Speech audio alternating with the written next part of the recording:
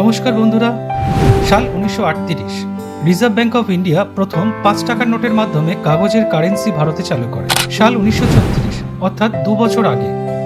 Sir Daniel Hamilton বাংলার গোসাবাতে নিজের সই করা এক টাকার নোট চালু করেন, যা ভারতের ইতিহাসে হয়তো প্রথম প্রাইভেট কারেন্সি গোসাবা সুন্দরবনের প্রাণকেন্দ্র। গোসাবাকে কেন্দ্র করে এখানে গড়ে উঠেছে জনপদ, হাসপাতাল, থানা ও সুন্দরবন পর্যটন শিল্প সাল দ্বিতীয় শতক থেকে তৃতীয় শতক। সুন্দরবনের ইতিহাস শুরু হয় চাঁদ সদাগরের সময় থেকে।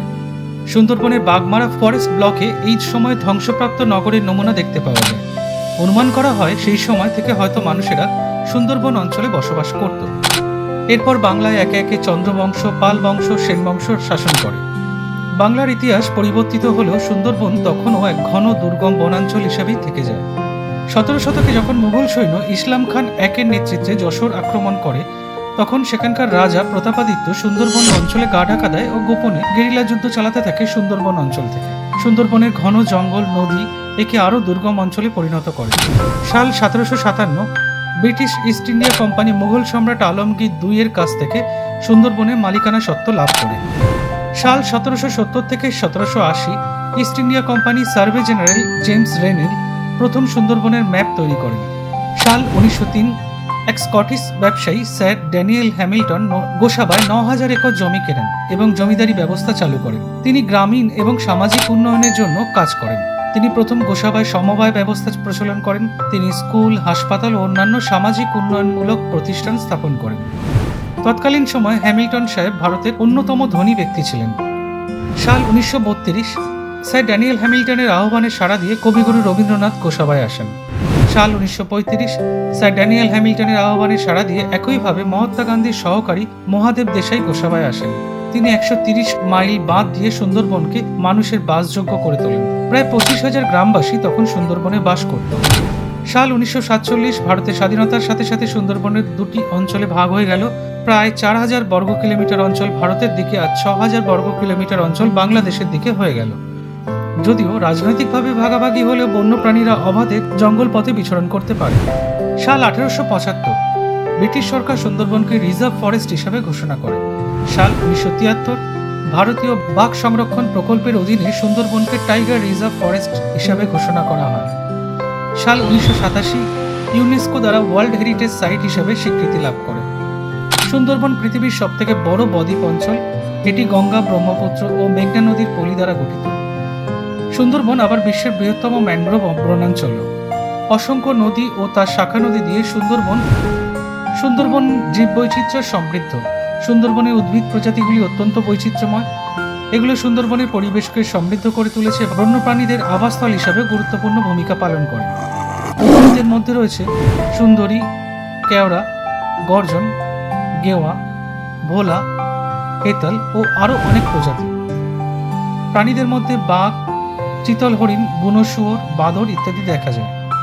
জলজ প্রাণীদের মধ্যে কুমির, ডলফিন, বিভিন্ন প্রজাতির কচ্ছপ, ইলিশ, ভেটকি, পমফ্রেট, চিংড়ি, কাঁকড়া ইত্যাদি উল্লেখযোগ্য। সুন্দরবন পাখিদের স্বর্গরাজ্য ভারতের সবচেয়ে বেশি প্রজাতির পাখি এখানেই দেখা যায়।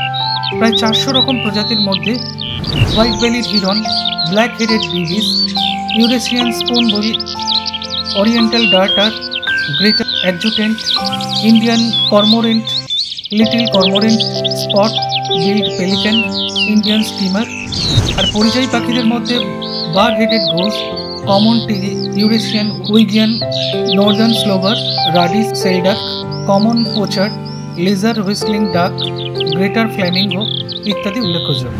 এত কিছুর মধ্যে যে প্রাণীটির কথা আলাদা করে না বললেই নয়, তা হলো রয়্যাল বেঙ্গল টাইগ সুন্দরবনে চালু প্রবাদ জলে কুমির ও ডাঙায় বাঘ।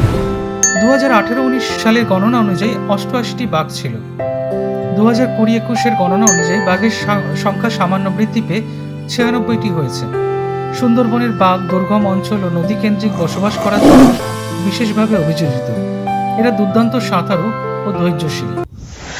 সুন্দরবন সমুদ্র উপকূলবর্তী হওয়ায় প্রায় সময় বড় বড় প্রাকৃতিক দুর্যোগের মোকাবিলা করতে হয়েছে। সাধারণ মানুষের জীবন জীবিকা বিপন্ন করে এক একটি ঝড় বাস্তুতন্ত্রেরও বড় ক্ষতি সাধন করে। কিছু অংশ দেখা যায় আর কিছু অংশের ক্ষতি জানাও যায় না। এসব সাইক্লোনের মধ্যে দু হাজার নয়তে আইলা দু হাজার উনিশে বুলবুল দু হাজার কুড়িতে আমফান। সুন্দরবনের মানুষকে বারবার প্রাকৃতিক দুর্যোগের সাথে অসম লড়াই করতে বাধ্য করেছে। এই লড়াই একাধারে দুর্যোগের সাথে আবার কখনো কখনো বাঘে মানুষের লড়াই, যা এখানকার মানুষকে সাহসী ও প্রকৃতি প্রেমী করে তুলেছে। সুন্দরবনে আগে কৃষিকাজ ছাড়াও একটা বড় অংশ জঙ্গল থেকে গোলপাতা মধু সংগ্রহ ও মাছ ধরার উপর নির- নির্ভরশীল ছিল। তবে পর্যটন মানচিত্রে সুন্দরবন তার জীববৈচিত্র্যের জন্য একেবারে উপরের দিকে স্থান করে নিয়েছে। প্রতি বছর দেশ ও বিদেশ থেকে লক্ষাধিক পর্যটক সুন্দরবন ভ্রমণে আসেন, যা এখানকার মানুষের এক বিকল্প জীবিকার ব্যবস্থা করে দিয়েছে। নদী, জঙ্গল ও জীববৈচিত্র্যকে পুঁজি করে আজ সুন্দরবন আক্ষরিক অর্থে সুন্দর বন হয়ে আত্মপ্রকাশ করেছে। আমাদের সকলেরই উচিত এই সৌন্দর্য জীববৈচিত্র্যকে রক্ষা করা। সবুজে ভরা এই বনভূমি আজ বিশ্বের কাছে আমাদের গর্বের বিষয়। তাই একে রক্ষা করার দায়িত্ব আমাদেরই নিতে হবে পরবর্তী প্রজন্মের জন্য। আপনাদের কি মনে হয় সুন্দরবন নিয়ে? নিচে কমেন্ট করে জানাতে ভুলবেন না। ভিডিওটা ভালো লাগলে আপনাদের বন্ধুদের সাথে শেয়ার করুন। যদি চ্যানেলে নতুন হন, তাহলে চ্যানেলটি সাবস্ক্রাইব করুন।